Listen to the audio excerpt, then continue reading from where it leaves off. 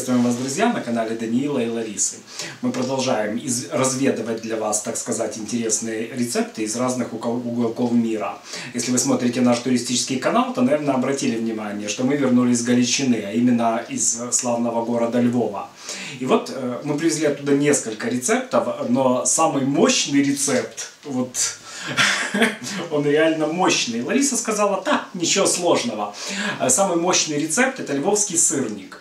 Э, на самом деле львовский сырник это вовсе не то, что вот вы привыкли и я привык подразумевать. Мне когда сказали, ты когда будешь во Львове, вот в каждой кофейне готовят там э, львовский сырник, это очень круто, и э, вот в каждой кофейне, в каждом заведении его готовят по-своему. Они стараются, чтобы он чем-то отличался от других, был несколько эксклюзивный. Я же представляю себе этот блинчик, сырник, ну как мы все привыкли сырник, думаете, что там может быть эксклюзивного? Пушкина. В общем, зашли мы в одно кафе, э, заказали львовский сырник. Приносят нам такой красивый, офигительно пахнущий тортик. Я говорю, это что, сырник? Да, говорят, сырник. Ладно, я, думаю, что в этом кафе я подумал, ну просто не знаю, что такое сырники. Мы попали туда, где ну, нас сошли за туристов лохов и подсунули нам вместо львовского сырника какой-то обычный торт. Идем в другое кафе на следующий день, заказываем львовский сырник. Приносят тоже тортик, но совершенно другой. В общем, друзья, львовский сырник это очень крутая сладость. Конечно, тут ингредиентов, э, его будет готовить Лариса, я честно признаюсь. Я умываю руки от этого. Лариса говорит, говорит, ну приготовь тесто, ты ж умеешь. А я смотрю вот на это, у меня глаза разбегаются, начинается паника, и остаток волос на голове, на голове шевелится. Так вот, обалденно классный десерт, который мы для вас воспроизвели и сейчас приготовим. Львовский сырник, э, вернее рецепт, рецепт львовского сырника состоит из трех основных аспектов. Первый аспект это основа, э, второй аспект это сырное наполнение и третий это топпинг. Вообще текстовый рецепт и полное описание всех ингредиентов вы найдете в описании видео. Это же видео, э, видео, видео что-то меня заклинило на видео. А этот материал, который вы сейчас смотрите, ладно, так может будет э, без повторений, э, он является такой... Э, Опять хочу сказать, видеоинструкцией по приготовлению львовского сырника. Итак, мы взяли размягченное сливочное масло, добавили э, сахар, все это поместили в миксер и перемешаем для начала. Через минутку добавим туда яйцо и еще минутку перемешаем до получения однородной массы. После того, как яйцо, масло и сахар перемешались, потихоньку вводим муку. Как вы уже догадались, для основы сырника мы готовим обычное песочное тесто. Постепенно вводим муку и вымешиваем. Какое оно, Ларис? Крутое должно получиться. Очень крутое. У нас будет самое крутое тесто. В результате у нас получилась вот такая вот э, мучная крошка. Ну, заготовка для э, песочного теста. Сминаем получившееся песочное тесто в колобочек, заворачиваем колобочек в стрейч и отправляем на полчаса в холодильник. А пока займемся сырной частью. Для творожной начинки нам понадобится творог. Желательно, чтобы творог был домашний да пожирнее. Если нет возможности купить домашний творог, э, то используйте магазинный, э, но минимум 9% жирности. Надо, чтобы он не был жидкий и не был крупинками. Вот такой, как вы видите сейчас на экране. Творог протираем через сито для того, чтобы наша начинка для сырника была воздушная и вкусная. А подними, покажи, как получается, чтобы мы долго. Вот такая вот штука у нас получается. В полученную э, творожную крошку отправляем подтоплен... подтопленное сливочное масло и порцию сахара. Начинаем вымешивать это все с помощью миксера.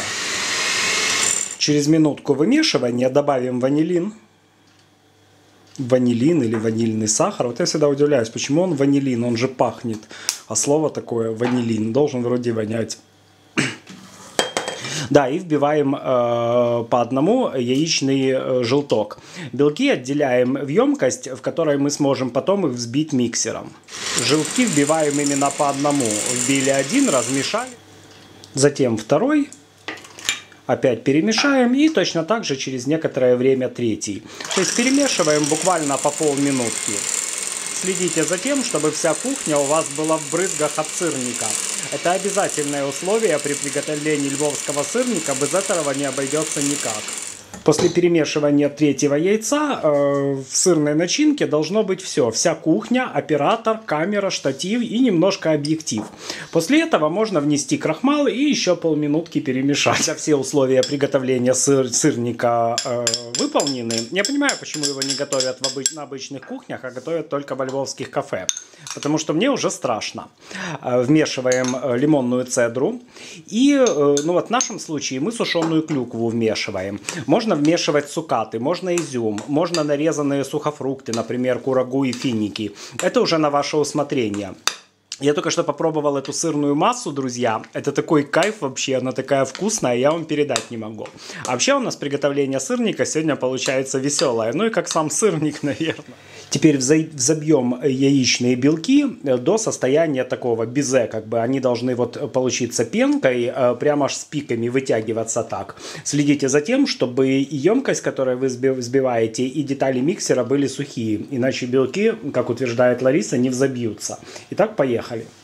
Примерно через 5 минут белки взбились. Получилась вот такая вот воздушная масса. Ух ты, класс какой аккуратненько. Лариса утверждает, что надо это делать аккуратненько. Выкладываем белки в нашу сырную начиночку и перемешиваем. Ну, аккуратненько, я так понимаю, чтобы получилось воздушное, чтобы сейчас взбитые белки не растолочь обратно в обычное яйцо. Вот так вот действуем, друзья. Простите, пожалуйста, э, за то, что мы много смеемся, но этот сырник, мне кажется, очень веселый рецепт. Но поверьте, он такой же вкусный, как и веселый. Получилась вот такая вот изумительная штука. И когда перемешиваете, следите, чтобы белочек взбитый полностью вмешался в сырную массу. Чтобы не осталось вот таких вот, как видите, белесые скопления немножко еще заметны. То есть он должен перемешаться совершенно однородно, для того, чтобы наша сырная начинка тоже получилась однородная. И если мы оставим где-то неразмешанную вот эту белковую штуку, то внутри сырника получим э, кусочек безе. Ну, что тоже будет прикольно. Для запекания используем разъемную форму для тортов. Э, на дно формы застелили пергамент для запекания. Лайфхак от моей бабушки э, если можно так сказать. Когда не было таких форм, в годах 80-х бабушка использовала для выпекания тортов баночки от селедки. Помните, в таких круглых плоских коробках, ну, люди моего поколения наверняка помнят, молодежь уже не помнит, продавалась селедка. Так вот, моя бабуля э, пекла в таких формах торты. Распределяем песочное тесто ровным слоем, где-то 5 мм по дну формы для запекания. Вот так вот тоненький слой теста, как я уже сказал, ну 5 мм толщиной с печеньку. Равномерно распределили по донышку формы и отправляем в духовку при температуре 180 градусов на 15 минут. Через 15 минут наша основа готова. Извлекаем ее из духовки и даем остыть до комнатной температуры. После того, как основание полностью остыло, переложим в форму для запекания творожную массу. Друзья, она такая вкусная, это просто... Э, я тут на нее совершил набег, за что от Ларисы получил по рукам. В общем, будет немножко меньше сырной массы. Но в рецепте будут точные пропорции, я вам обещаю.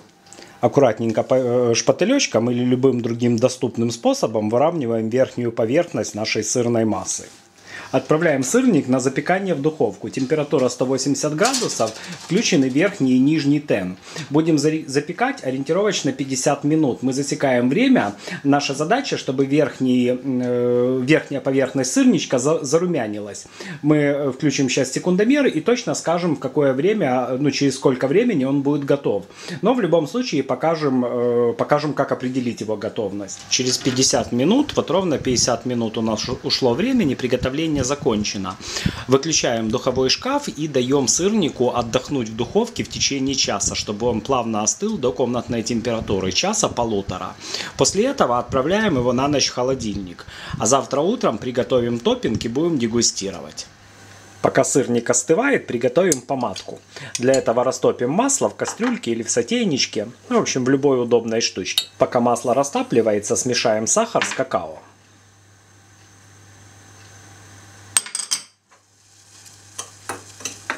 Отправляем готовую смесь, растопленное масло и размешиваем до полного растворения. Сюда же отправляем сметану.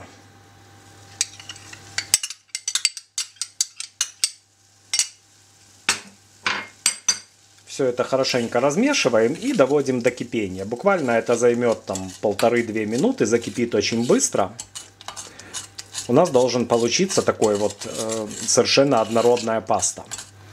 В процессе закипания помадку постоянно помешиваем.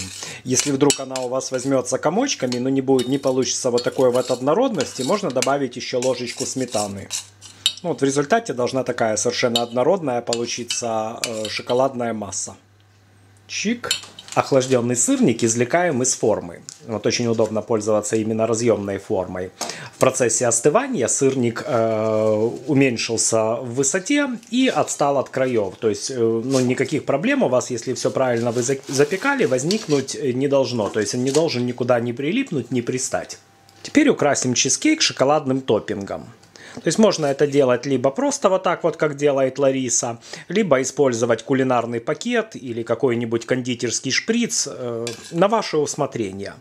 То есть наша задача сейчас э, сделать, э, как бы, вот этот вот, покрыть чизкейк. Да что ж чизкейк? Покрыть сырник. Какой же он чизкейк? Это настоящий львовский сырник.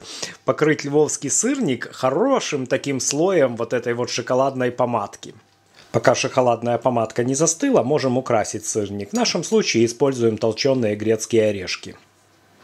Можно также использовать цукаты, ну вообще абсолютно можно ягоды какие-нибудь использовать, например, свежую малинку, клубничку или, к примеру, сухофрукты. Ну, в общем, э, тут на вашу фантазию. После того, как сырник украшен, отправляем его в холодильник еще на полчасика, чтобы топпинг застыл. После того, как львовский сырник остыл, можно его продегустировать. Сейчас покажем, что у нас получилось. Чик. Выходи, сырничек. Опа.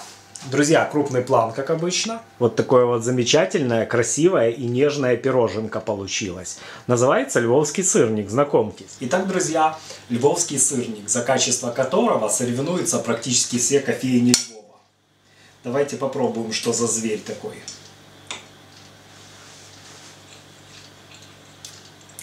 Божественно.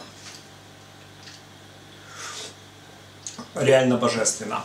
Ну, на самом деле, э, вся эта штука очень похожа на чизкейк. Но все-таки он имеет какую-то свою изюминку, свою особенность за счет тех ингредиентов, которые мы добавляли в творог, и за счет температуры запекания. Чизкейк делается при более низкой температуре, а сырник при более высокой. Но реально сырник очень вкусный. Просто потрясающий, нежный классный, сочный. Вот э, знаете, как в чизкейке, бывает такое, что приготовить чизкейк, в нем э, сырная часть творожная, она сухая просто, и теряется весь кайф. Я думаю, что здесь тоже вот та же изюминка, чтобы он был именно сочный, чтобы вот эта вот творожная начиночка, чтобы она была такая э, сладкая, с кислинкой от цедры и вот сочная на вкус, приятная. Очень классный получился я побольше, конечно, изюма туда нафигачил бы. Вот мы добавили этой клюквы сушеной, но я бы еще такое же количество изюма. Но все зависит от ваших предпочтений. То есть, как я говорил, можно и цукаты, можно и сухофрукты добавлять. Все равно будет вкусно. Друзья, с удовольствием вам э, представляем э, украинский, галицкий, львовский десерт, львовский сырник – такой штуки, э, кроме как во Львове, вы не попробуете нигде. И, конечно, во Львове, э, если вы будете там в любой кофейне, вы можете заказать, попробовать э, и сравнить с тем, что мы с вами приготовили. Ну, я тут с чайком, а вообще львовяне, вот у них мацион днем. Львовяне пьют кофе не так, как, допустим, мы, киевляне. У них э, совершенно другая традиция. Они приходят в кафе, заказывают чашечку кофе и сидят за этой чашечкой там 40 минут, час, болтают, э, читают новости. Ну, вот у них мацион. Мы пьем кофе быстро, быстренько чашечку кофе э, выпил и побежал. Ну, жители столицы. Э, приготовьте львовский сырник, вам понравится. И наверняка вы удивите своих родных и близких, э, подав такой десерт э, к праздничному или просто к воскресному столу, к воскресному ужину. Будет классно, друзья. Подписывайтесь, подписывайтесь на канал, ставьте пальцы вверх. А мы с Ларисой снимем для вас еще парочку рецептов западной Украины, в частности с Галичины. Всего доброго, пока.